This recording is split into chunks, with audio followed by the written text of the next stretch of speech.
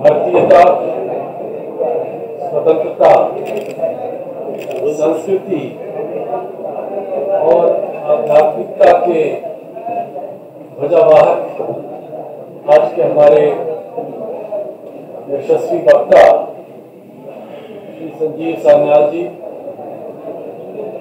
हमारे बीच में उपस्थित आद्य प्रसाद पांडे जी, आज के इस कार्यक्रम के जहाँ तक मैं जानता हूँ, सूत्रधार प्रोफेसर ज्ञानेश्वर चौबे जी, हमारे विज्ञान संस्थान के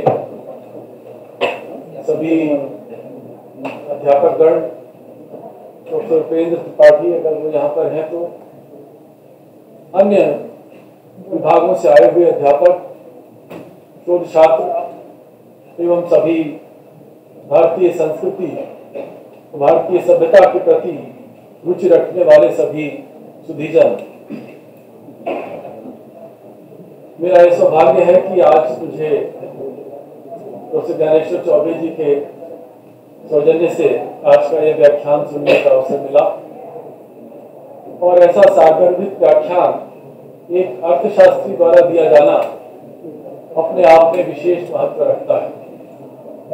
विशेष तौर पर काशी हिंदू विश्वविद्यालय के इस वेद विज्ञान संस्थान में इसका आयोजन बहुत ही समीचीन है, क्योंकि श्री सान्याल जी ने वेदों से बहुत सारे उदाहरण दिए और जो विज्ञान की बातें हैं, विज्ञान का जो कोर है, उसका जो एसेंस है, वो है साक्षी।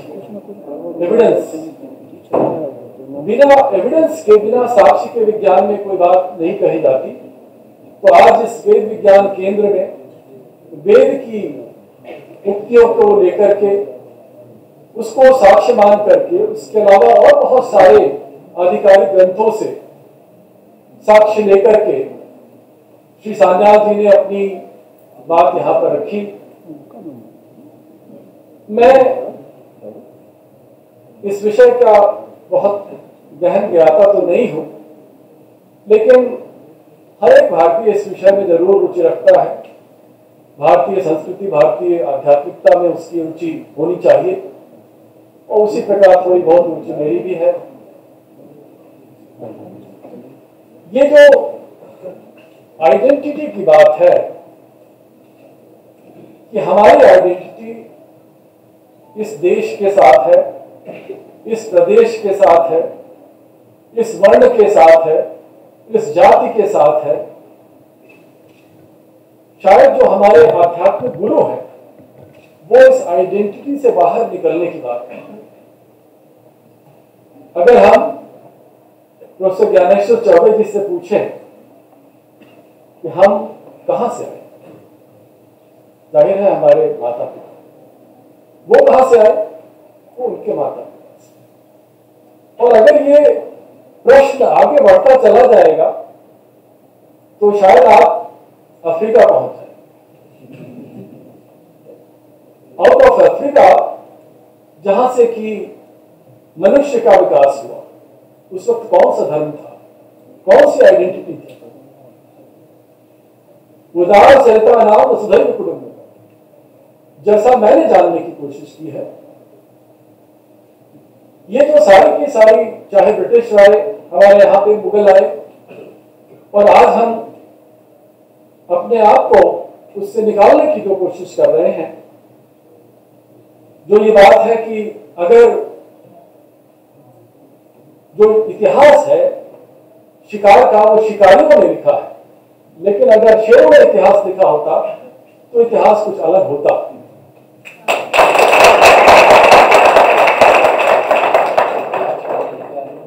लेकिन मैं आपका ध्यान इस बात पर आकृष्ट करना चाहता हूँ कि जब भी इतिहास लिखा जाता है तो एक विशेष विचार को आगे बढ़ाने के लिए किया जाता है।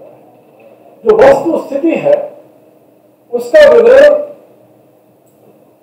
जो सत्य है, वो बहुत कम लिखा जाता है। क्योंकि इतिहास लिखा गया, राजे महाराजाओं के द्वारा उनकी प्रशंसा में लिखा गया, जो बहुत सारे हमारे मठ थे, उसमें भी कुछ कुछ बहुत सारे जो साधु लोग थे, वो सांसारिकता से दूर रहे उन्होंने उन्हें अपनी प्रशंसा की आवश्यकता नहीं थी। लेकिन बहुत सारे ऐसे लोग थे जिन्होंने मठ बनाए और एक प्रचार प्रसार किया। इसमें क्या सही है, क्या नहीं है इसमें नहीं पढ़ना चाहता। लेकिन मैं ये कहना चाहता हूँ कि अगर हम पूरे विश्व में लोगों को देखें तो हर एक जो मनुष्य के चेहरे हैं, ये सारे के सारे बिलियंस ऑफ़ लोग सबके चेहरे अलग अलग हैं। ट्विंस की बात अगर हम छोड़ दें, इतनी यूनिकनेस है। लेकिन उस यूनिकनेस के कोर में एक ऐसी चीज़ है जो हमें जोड़ती अगर रामकृष्ण हमारे पूर्वज थे तो उनके जीन्स भी हमारे अंदर हैं। और रामकृष्ण के जो पूर्वज थे, उनके जीन्स भी हमारे अंदर अगर आप इस प्रकार से आगे बढ़ते जाएँगे तो आपको तो इस चीज़ का एहसास होगा कि जो पूरी की पूरी मानवता है, ये एक दूसरे से जुड़ी हुई है। एक कोर था जिसके जो इवोल्यूशन है इवोल्यूशन ही सत्य है। जिसने भी इवोल्यूशन को रोकने का प्रयास किया, वो आगे नहीं बढ़ पाए लेकिन हमारी जो संस्कृति थी, हम फिर हमारी की बात कर रहे हैं, हम अपने आप को आइडेंटिफाई करने की कोशिश कर रहे हैं, लेकिन ये मानवीय एक स्वाभाविक बात है कि हम अपने आप को किसी भी चीज़ के साथ जोड़ते हैं। जो हमारी आध्यात्मिकता है, उसमें नाम, रूप के साथ जुड़ा हुआ चाहे वो देश हो, चाहे वो व्यक्ति हो, चाहे संस्कृति हो, लेकिन हमारी आध्यात्मिकता नाम और रूप से परे जाती है। ऐसा ऐसा तत्व जो हम सबको जोड़ता है, उस तत्व की बात करने की बात हमारी आध्यात्मिकता करती है। ये जो विभिन्नता हम देखते हैं, उससे हट करके हमारी आध्यात्मिकता एसेंस की बात करती है कि ऐसा क्या है जो हमारे में भी है, तुम्हारे में भी हम ब्रह्मास्मि तब तोमसी ये सारी बात हमारी आध्यात्मिकता करती है। लेकिन इस आध्यात्मिकता के कोर में उसको अपनी संस्कृति को बचा के रखना, अपनी अपने आप को अपने अभि मैं अभिमान की बात नहीं करता, लेकिन एक स्वाभिमान जो एक सेल्फ रेस्पेक्ट होती है, जो कि आदमी को आगे ले जाती है, इसको हमेशा बचा के रखने की आवश्यकता है और मुझे ऐसा लगता है कि आज का जो व्याख्यान है, जो कि एविडेंस बेस्ड बातें आपने कही, आजकल जो मेडिसिन भी, प्रधानमंत्री जी बात करते हैं कि मेडिसिन की बात एविडेंस बेस्ड होनी चाहिए। विश्वास पर आधारित वो मेडिसिन उसका जमाना नहीं हर चीज़ का आपको प्रूफ देना है, साक्ष्य देना है। और आज जो श्री सान्याल जी ने तमाम सारे ग्रंथों से अपने गहन अध्ययन के आधार पर जो ज्ञान निकाला है, ज्ञान हमारे सामने प्रस्तुत किया है, हमारी सभ्यता का, इसके बारे में हमें ज्ञान होना चाहिए, इसका अभिमान भी होना चाहिए।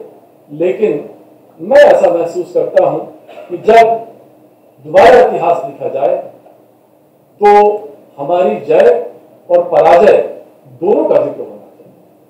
पराजय के क्या कारण थे और जय के क्या कारण थे, इन दोनों का विवरण होना चाहिए।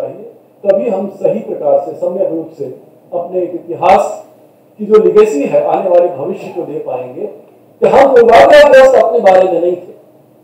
हम एक समत्व वाली सोच रखते थे कि मनुष्य है, मनुष्यता है तो उसमें अच्छाई भी होगी, कमी भी होगी स्ट्रेंथ भी होगी वीकनेस भी होगी। उसका सबका सही रूप से अगर हम निरूपण करें तो शायद हम एक सही चित्र आने वाली जनरेशन के सामने रख पाएँगे। मैं विशेष रूप से सान्याल साहब को बहुत बहुत धन्यवाद देता हूँ कि उन्होंने समय निकाला हम सब के अंदर, क्योंकि ये जो विचार थे, जब तक उनकी बात मैं नहीं सुनता तो शायद ये बात मैं आपके सामने नहीं रखता। उन्होंने थोड़ा सा झकझोरने की कोशिश की और हम सभी को झकझोरने की कोशिश की। इतने सारे प्रश्न हुए और इन प्रश्नों का उन्होंने बहुत रोचक तरीके से और सार्वजनिक उत्तर भी दिया।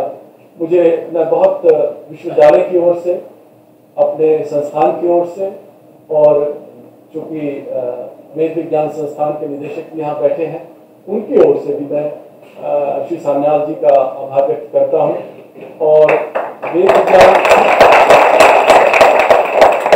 वेद विज्ञान केंद्र के निदेशक प्रोफेसर वीरेंद्र त्रिपाठी जी का भी मैं आभार व्यक्त करता हूँ कि उन्होंने हम सबको इस विशेष भवन में ये लाभ, ज्ञान का लाभ लेने का अवसर दिया।